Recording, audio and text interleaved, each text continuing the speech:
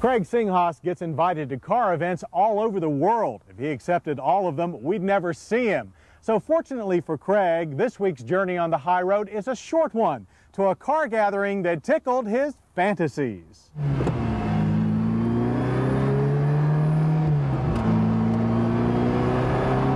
This is the last surviving invitational Ferrari meet in the world.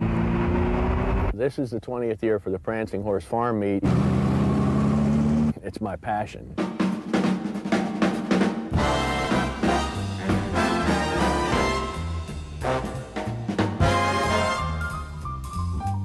Ferrari broker and enthusiast Ron Spangler has thrown this charity benefit at his Prancing Horse Farms since 1977, and it has gained a reputation as one of the best private Ferrari gatherings in the world. For this meet, we have people from all over the United States. We have one couple coming, believe it or not, from Bogota, Colombia. They'll be here. We've had them from Germany, uh, from France, from Italy, you know, literally all the European countries. It's a very close-knit group of people. The true enthusiasts um, are great. I mean, no matter where they come from around the world, their first love is of the car. Well, I've heard about this event for years. I understood it was more of a, a relaxed atmosphere than uh, some of the big concours, just a, kind of a get-together as opposed to a, a, show, so I, that appealed to me. My car is a uh, 1958 uh, Ferrari Pininfarina Coupe the reason I like this car, in particular, it was built the same month that I graduated from high school, June of 58, so uh, it had a certain appeal to me.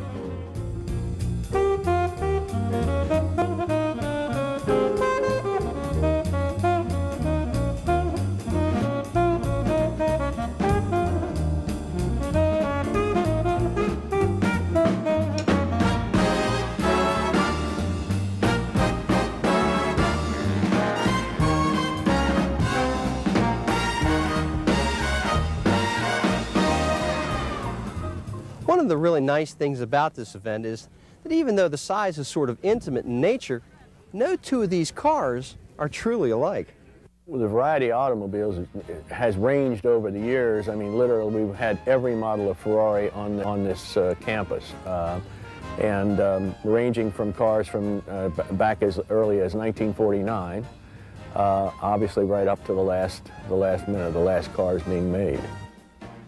Now, I can remember how back in 1981, the 246 Dino was the center of controversy. Could a V6 truly be a Ferrari? Well, a decade and a half later, Dinos, as well as all Ferraris, share an exalted status. A Ferrari, more than any other sports car, sings, okay?